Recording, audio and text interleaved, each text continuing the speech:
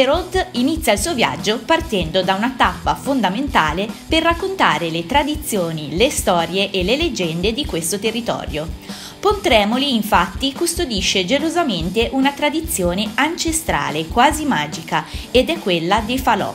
Ogni anno, da tantissimo tempo, due parrocchie, due patroni e due contrade si sfidano nella gara al fuoco più grande, attirando la curiosità di tantissime persone. La contrada di San Nicolò accende la sua pira il 17 gennaio, mentre è il 31 nel periodo dei giorni della merla che tocca a San Gemignano. Ma chi può raccontarci di questa suggestiva tradizione se non i signori del fuoco di Pontremoli? Ci troviamo oggi qui ai piedi della pira del falò di San Nicolò a Pontremoli con uno dei fuochisti, eh, Gregorio Petriccioli, che ci spiegherà da dove deriva questa antica tradizione.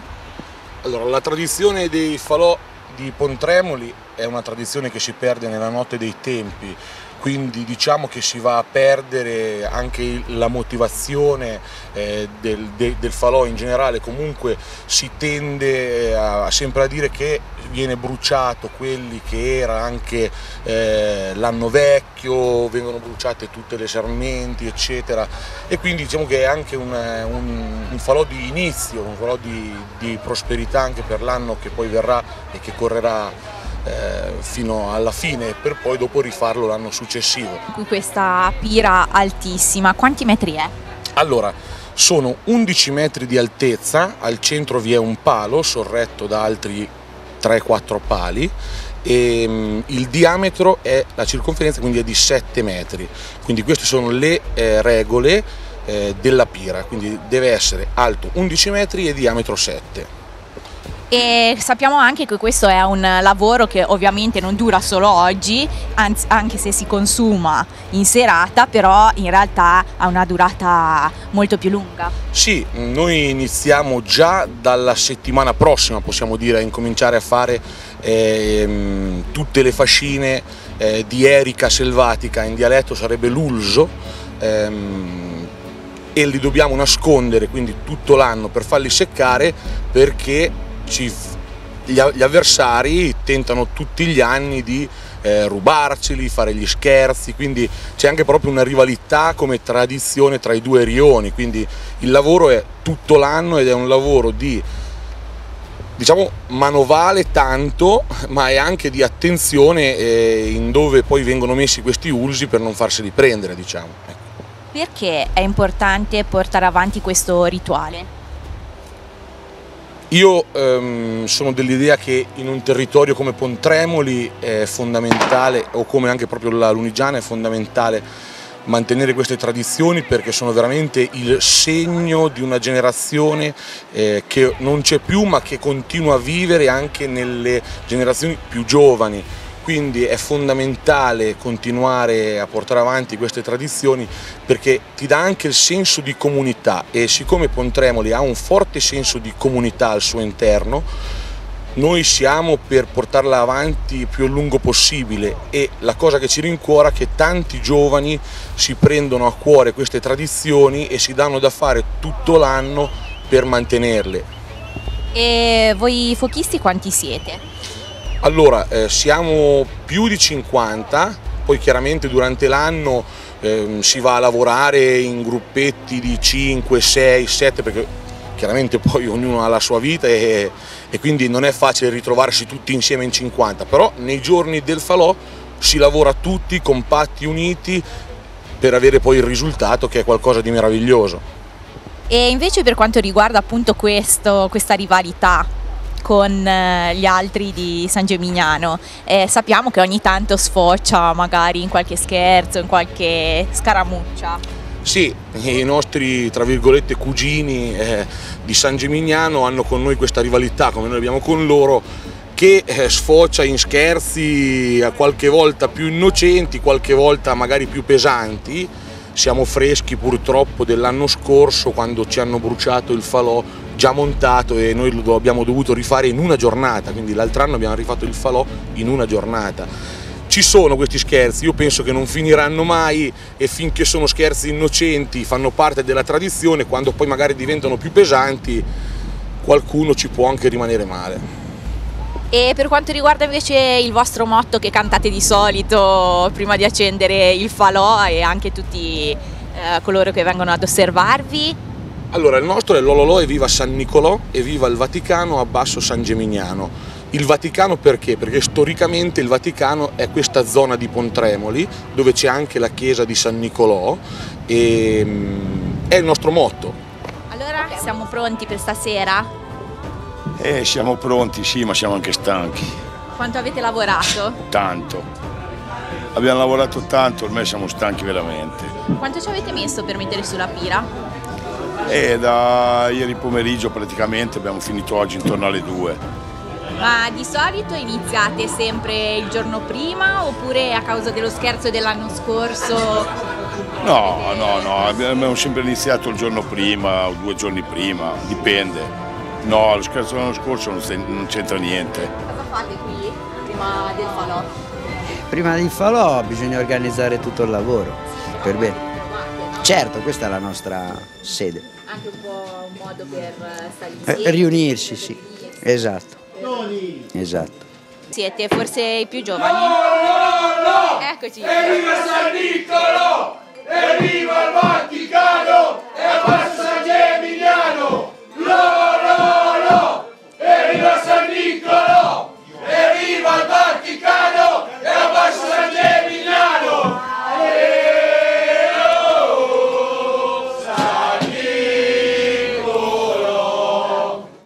quanto tempo lei è qui a fare il falò? Da quanti anni? Eh, da tanti anni, adesso non li ricordo tutti.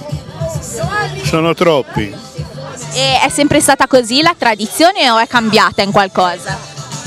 No, un po' più, un po' meno è sempre stata così.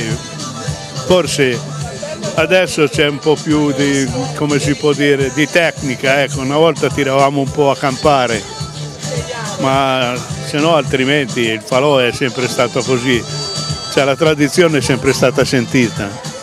E questa rivalità con gli altri fuochisti di San Gemignano? La rivalità c'è sempre stata dai tempi dei tempi. Noi non eravamo neanche nati da quando è iniziata questa, questa con questo contrasto tra, tra contrade, via, sono contrade poi praticamente. San, San Nicolò e San Demignano sono due contrade.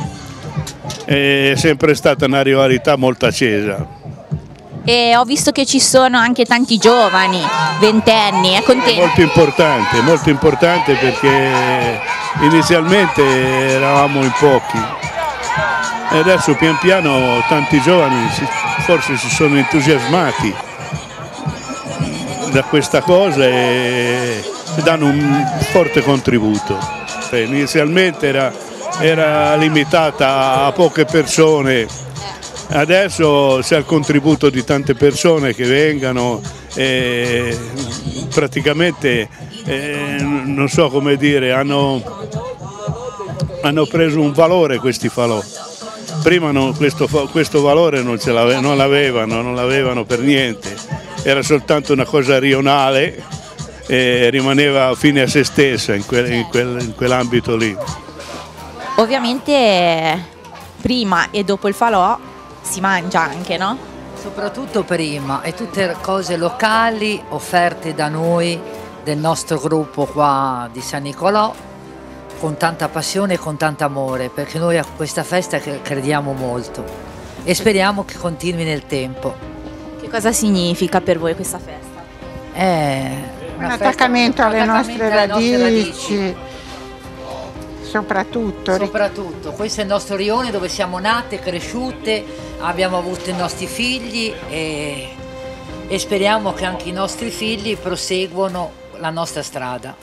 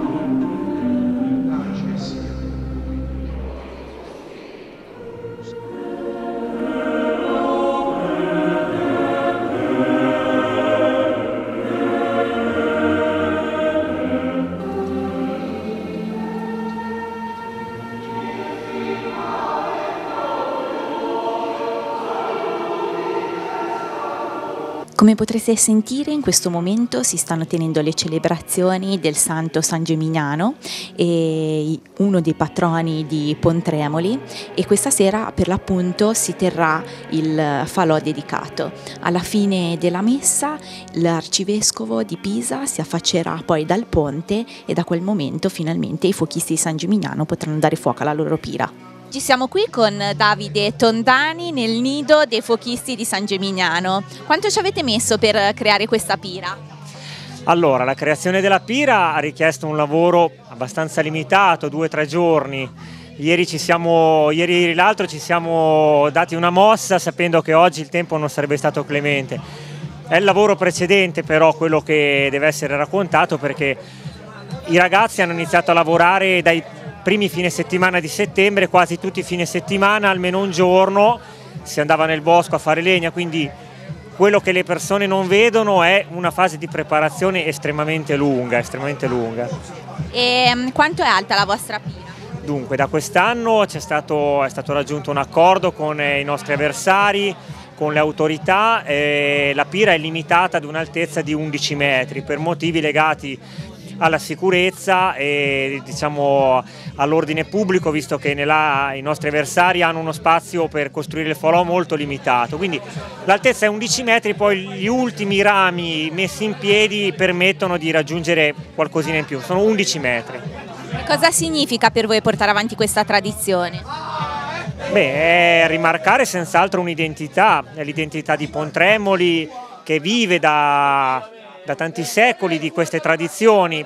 Le ultime ricerche storiche ci dicono che nel 1500-1600 le principali feste religiose pontremolesi si chiudevano eh, con la celebrazione di grandi fuochi che riunivano gli abitanti del borgo e gli abitanti del contado, quindi era anche un gesto di coesione sociale quello di creare i falò. Noi, per noi oggi 2018 continuare questa tradizione vuol dire coltivare la più antica identità di Pontremoli, questo connubio tra il borgo eh, e la sua storia molto importante e il contado con la sua civiltà contadina. E, ehm, quanti siete a, tutte le volte, tutti gli anni a dedicarvi a questa tradizione? A questo... Allora, guarda, il gruppo è molto liquido, si va dalle 25-30 persone che alternandosi anche sul, sulle esigenze personali che si alternano nel lavoro nel bosco alle 50 persone circa che sono qua gli ultimi giorni, ognuno con ruoli diversi, ma persone che si dedicano esclusivamente al vetovagliamento di chi lavora, ci sono persone che si dedicano esclusivamente ai trasporti, altre che si dedicano alla promozione dell'evento, circa una cinquantina di persone, più vari simpatizzanti intorno che non ci fanno mancare eh, la torta, la bottiglia di vino, l'offerta, quindi è una cosa che coinvolge davvero tutto il paese. Quindi questo vuol dire anche stare insieme, ritrovare no? Il, la gioia magari di riviversi. Assolutamente sì e questo è ancora più importante in un posto come il nostro, qua in Lunigiana dove molte persone sono costrette a emigrare per, per lavorare queste feste sono un grande richiamo, c'è un sacco di persone che prenotano le ferie per essere qua questi due o tre giorni a vivere questo grande momento di identità. Che cosa vuol dire per voi giovani essere qui questa sera e portare avanti questa tradizione? Ma sicuramente una bella esperienza perché comunque sia ci dà la possibilità di formarci e di coltivare queste tradizioni che vanno avanti da anni. E niente, molto una bella esperienza e speriamo di continuare così. Lo, lo, lo, abbassa Nicolo, abbasso il Vaticano e viva San